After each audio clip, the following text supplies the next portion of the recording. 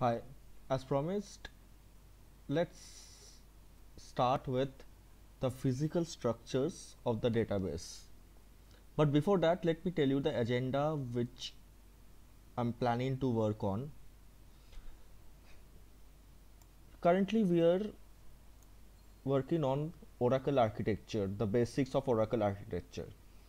So, probably by today, we will be completing it. After which, we will have a practical session. I will be uh, posting it uh, in another uh, chat, another video I will post in it, where we will be having a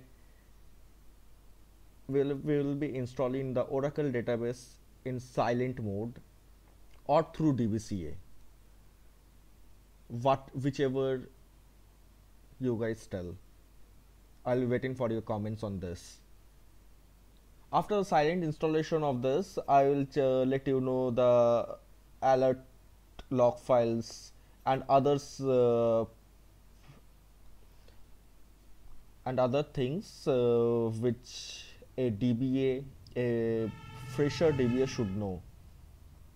After which we'll be having a session on RMAN scenarios, how to take RMAN backup, how, uh, how to uh, go for incremental backup, how to go for full backup, how to recover a database, how to refresh a database, these things. Then we'll be having, then we'll go with uh, data guard theory, the data guard basics and the theory. After which we'll go for data guard installation and then uh, some troubleshooting with data guard and some physical uh, physical uh, practical scenarios on it.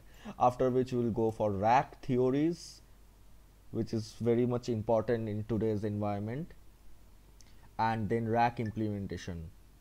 Then exadata basics we will go through. So let's start with let's conclude this oracle architecture today. So we were left with just physical structures of the database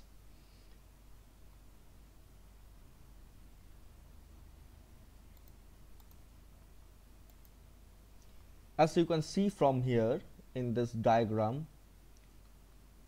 the physical structures of the database are the data files the redo log files archive files and the control files. So what is a data file? Data file it contains the datas as you as the name suggests the datas the most important data uh, you can take an example whatever you are keeping in your uh, personal laptop in your personal pc in the folder file systems and all those are the datas. So in an organization also has some datas and those datas are kept in this rdbms oracle rdbms oracle relational database through table structures, table spaces and all. Table structures, tables, those are logical structures and these are the physical structures. What is a redo log file? Redo log file these contain a chronological record of changes made to the database and enable recovery when failures occur.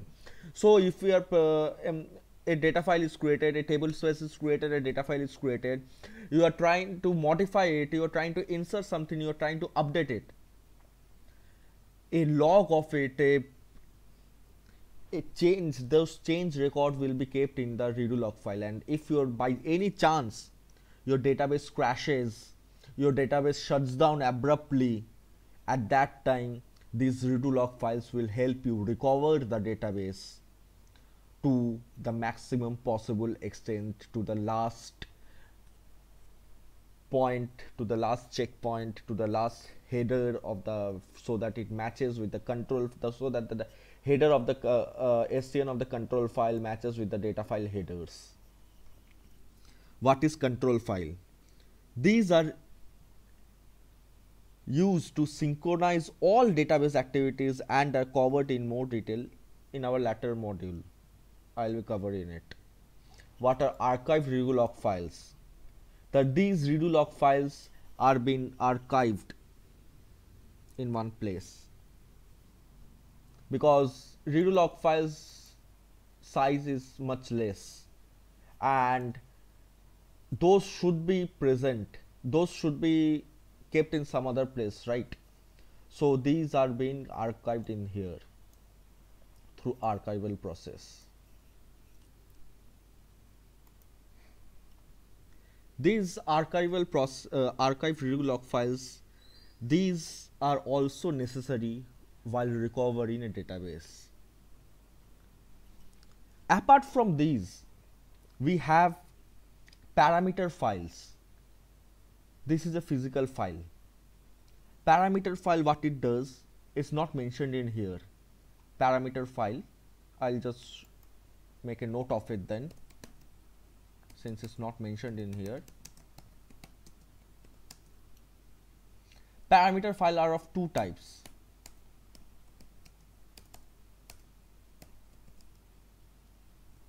init.ora the other one is spfile.ora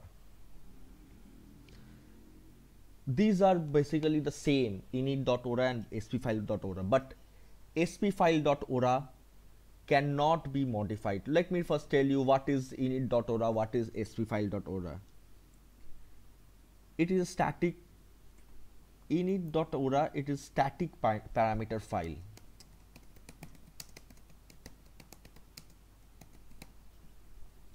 it contains the parameters that specify how the database instance is to start up for starting up a uh, let us take an example of your PC. You have a configuration. You have 4 GB of RAM. You have processor of Intel Core i3, i5, i7 processor. These things. These things are needed to start up your PC. So here what it does is that it takes the it contains all the information in the database from Oracle database perspective, it has all the information of the control file, the control file location, the back uh, uh, the memory management parameters and all those things are present in the init.ora. Some parameters will specify how to allocate memory to the various parts of the system global area. And now what is spfile.ora it is dynamic parameter file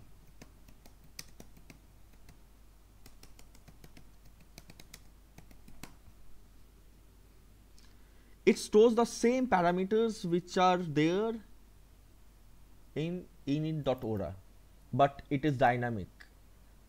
But keep in mind never open never ever open it in vi editor. It can it might corrupt this file because it's in binary format. You cannot read it. You can read it through cat while making through vi you can open it. Through more option in unix cat option in unix you can see the file. But there will be many junk characters also in it. And it's recommended that you should not open it. Any changes you need to make you can make in init.ora but not in spfile.ora but since it's a dynamic parameter file these parameters can be changed while the database is running. So how it's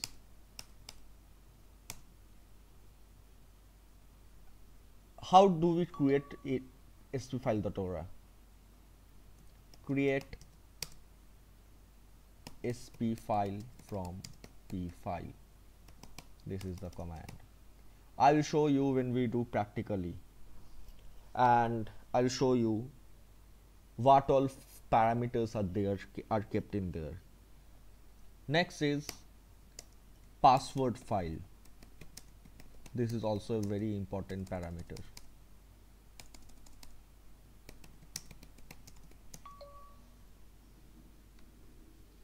This specifies which special users are authenticated to start or shut down an Oracle instance.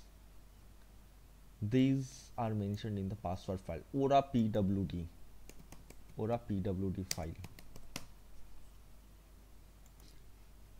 so what are the logical structures it is helpful to understand how an oracle database is organized in terms of a logical structure that is used to organize the physical objects i told you earlier logical structures are the table spaces the tables those are the logical structures and data files those are the physical structures.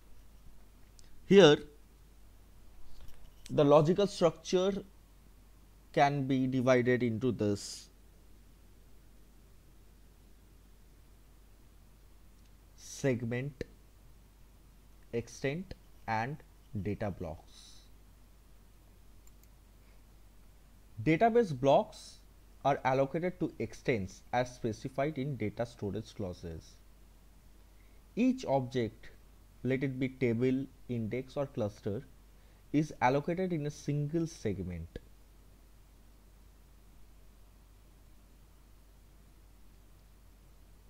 which is composed of one or more extents. Segments are stored in table spaces and all the table spaces taken together together comprise the database. I hope you can understand.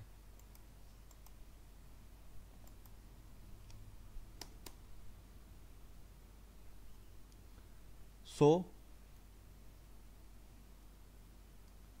if we go from down the physical structure is a data block. Before that we have segments. In number of data blocks makes a se segment and a number of group of segments make an extent. Sorry I'm wrong here. Number of data blocks makes an extent and number of extents make an make segments So what is table space? I told you earlier. But an Oracle database, an Oracle database must always consist of at least two table spaces. One is the system, another one is the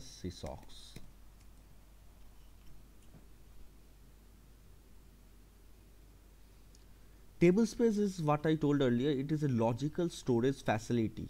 It's like a logical container for storing objects such as tables, indexes, sequences, clusters, and other various other database objects like LOB and other things. Each tablespace has at least one physical data file. I told you earlier this thing. Data file those only comprise the, which are the physical files and tablespace is the logical structure.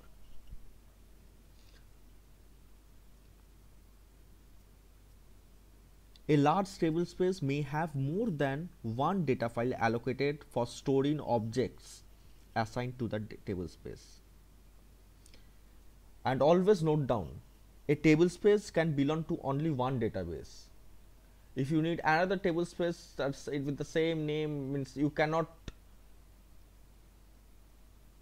share the table space. You can do one thing uh, you can create a db link database link and you can get the fetch the details but you cannot share the table space Table spaces can be brought online and taken offline for purposes of backup and management. But keep in mind, system table space cannot be made offline. This should always be online.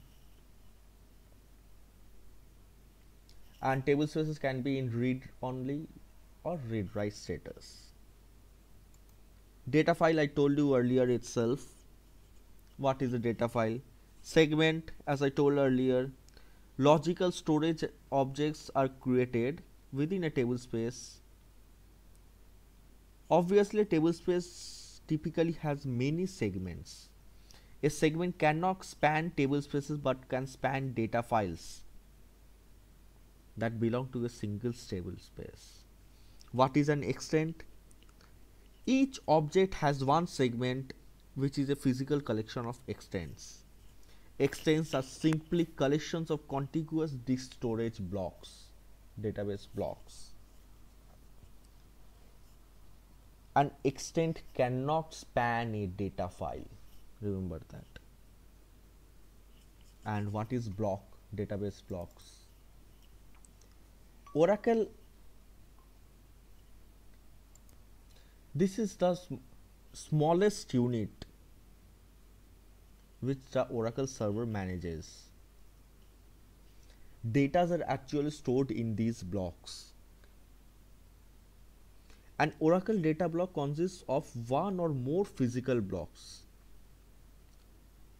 If larger than the operating system block should be even multiple of operating systems.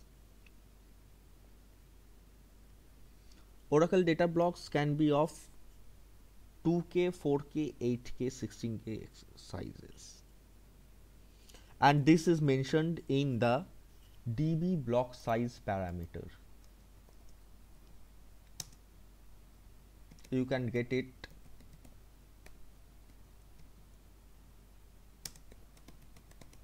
you can get this detail in your init.ora file.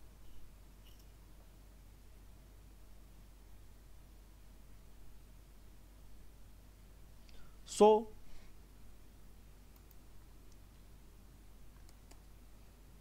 what are the physical and the logic? What are the physical and the logical files?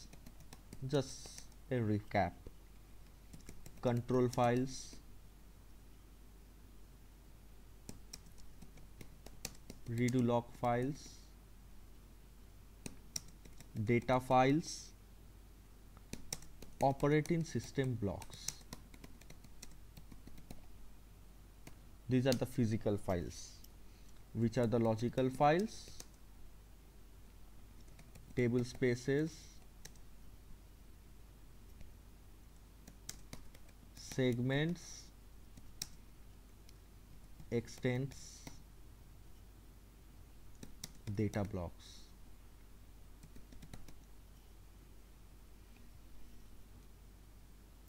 So we are done with the physical and the logical stuff. You should know when a database starts. I will show these after the installation of a database, but just for your theoretical knowledge, you should know what happens when a database starts. When a database starts, it first allocates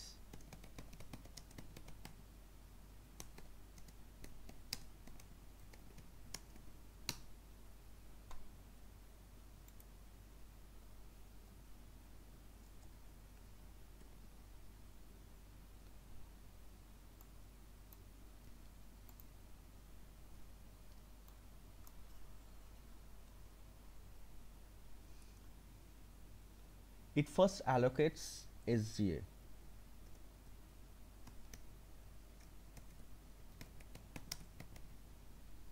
where most of the operations occur. Then database buffer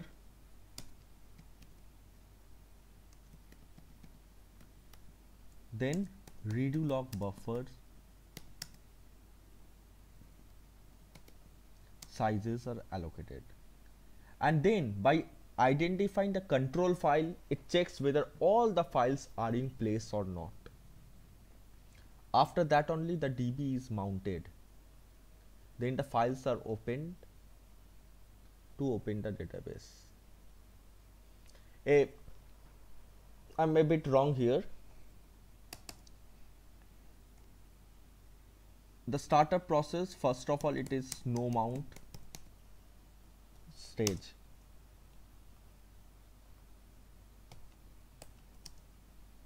in no mount stage. It checks for p file or sp file gets the parameter details in there and comes to no mount stage. Next it comes to mount stage. How does it come to mount stage? Checks the control file location whether all the control files are present there or not. From what it is mentioned in the p file or sp file. Note if there are three control file if there those are multiplex if there are three or two control files it should check whether all the three or two control files are there present or not. If a single of it is not present then it won't be starting up. Then open stage before opening it will be checking.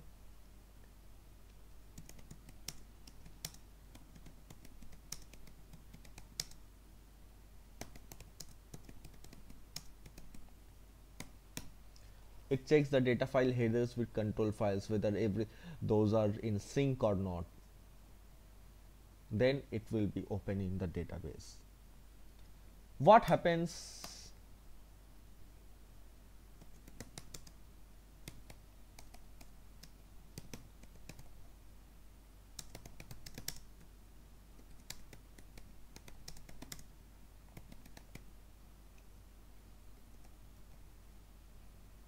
what happens when a SQL query is fired? When a client fires a SQL query, if the query arrives as text to the server, then it will start by computing a hash value that is used as a checksum. Then the database will check whether the query has already been executed and will inspect that in the shared pool. I believe I'm repeating this again those will be checked in the shared pool. If those are not present in the shared pool then the then those will be checked in the buffer database buffer or it will be fetched from the data files. If the query is found in shared pool then analysis stops. And this is known as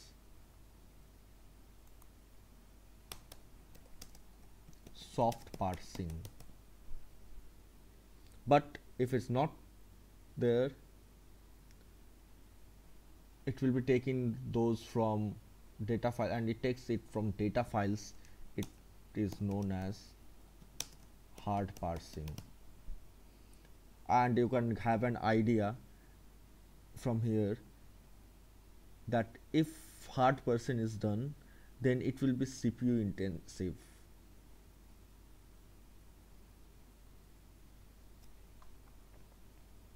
what happens when a data is modified? The same things are which are repeated here. The same the things which I told in these steps the steps which occurred those will be occurring. After that before modifying the data the initial values means the old values those will be kept in the undo segment the undo table space. And the initial and new values are copied in the redo buffer and once committed the log writer process LGWR it writes the info to the log files. What does a system table space contain? It contains the data dictionary views, tables for the entire database. So you can uh, analyze how much important this system table space is and this is the the data file which is present in here. The system table space data file comes with data file id 1 the data file id should be is 1 usually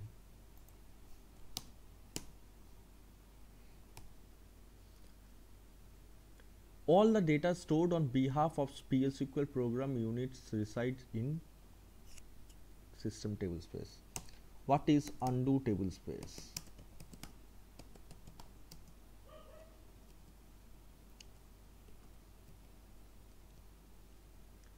Used, it is used solely for storing undo information.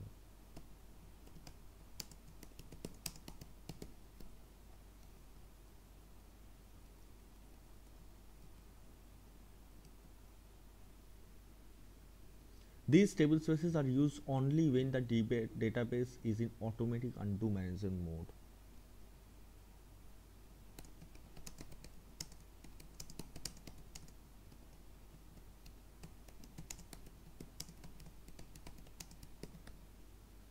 A database can contain more than one undo table space, but only one can be used at a time.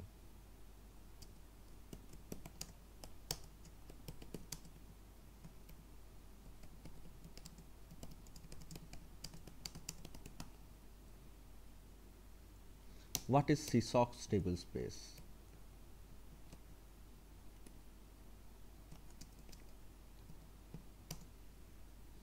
It contains information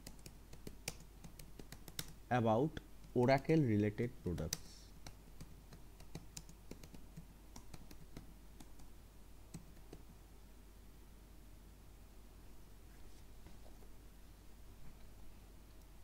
There is a default temporary table space, temp table space.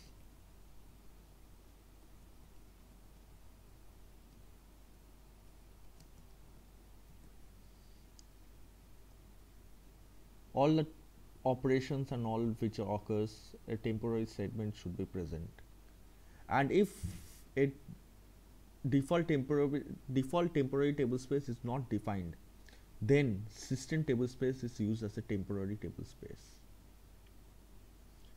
Here what happens in this temporary table space all operations that use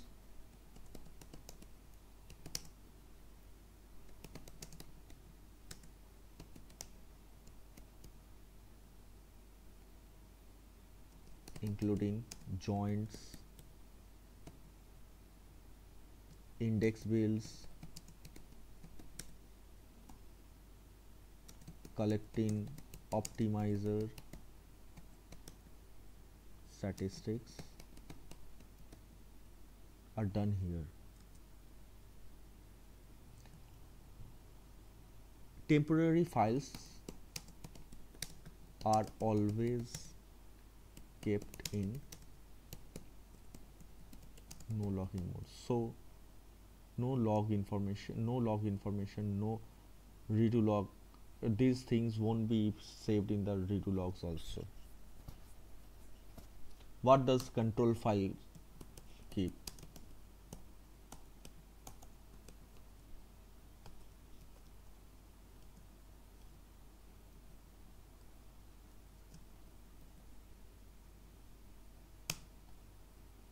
Mm, it contains database name.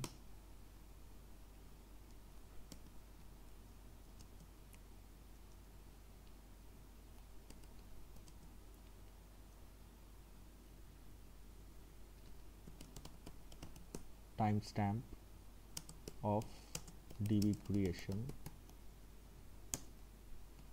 Name and location of associated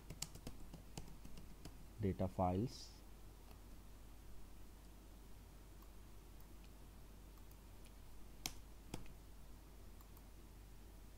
And redo log files.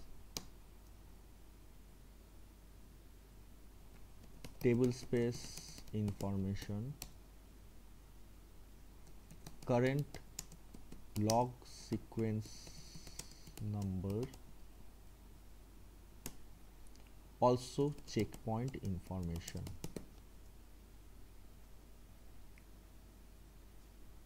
What more parameters it has?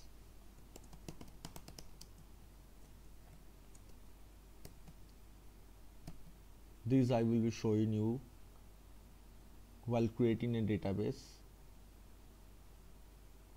But as of now you can make a note of it. Max log files max log members max log history max data files and max instances. There are many more files many more parameter files which are along with this in table spaces you have some parameters you have you if you check the status of the table spaces. Some options will be there like PCT free.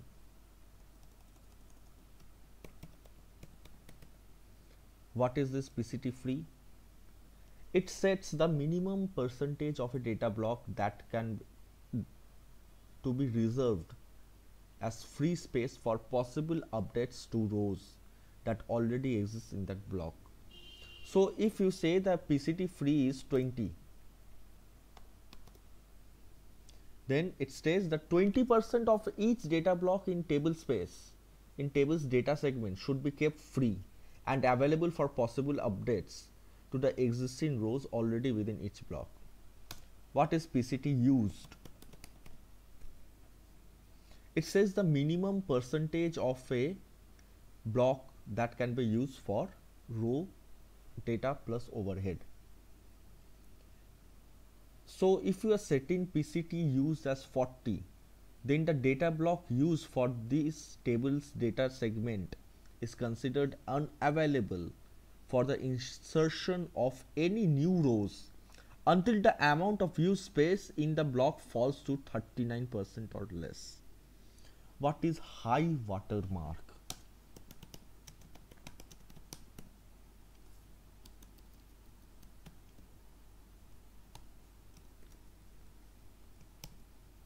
It's the boundary between used and unused space in a segment.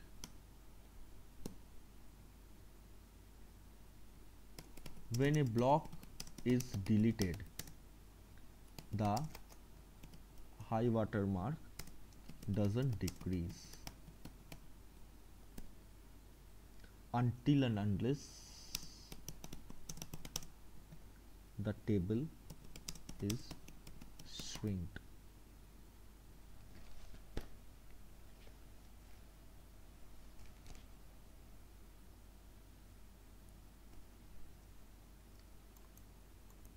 I believe this much is enough for the Oracle architecture and other things so if you have any new any clarifications if you have any other concerns in oracle architecture please do comment on my post. And i will be happy to help you. Also please subscribe to my channel so that you receive any more further updates which i post. Happy to help you. Thank you